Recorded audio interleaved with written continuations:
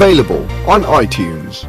ਤੇਰੇ ਤੋਂ ਦੂਰ ਹੀ ਰਹਿੰਦੇ ਤਾਂ ਅੱਜ ਹੰਝੂਆਂ ਚ ਨਾ ਵੈਂਦੇ ਕੱਲਿਆਂ ਜੇ ਛੱਡ ਜਾਣਾ ਸੀ, ਇਕੱਠਿਆਂ ਦੇ ਨਾ ਸੁਪਨੇ ਲੈਂਦੇ